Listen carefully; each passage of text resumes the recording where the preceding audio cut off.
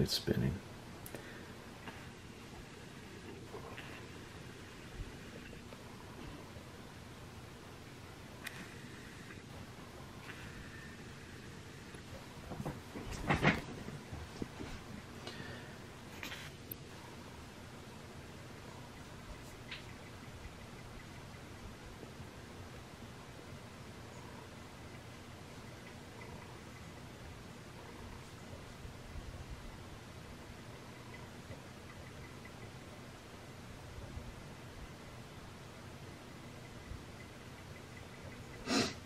So here's the external hard drive.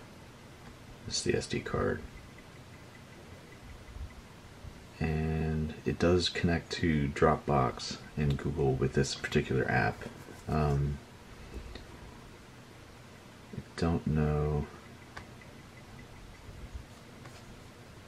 Don't know if there's a better application, but this is the one I think comes with it. So anyway, to answer your question, yeah, it works fine. You can uh, definitely use an external hard drive. I think it's a USB 3 external drive I have here. Just a little laptop drive conversion kit that you can get from Amazon.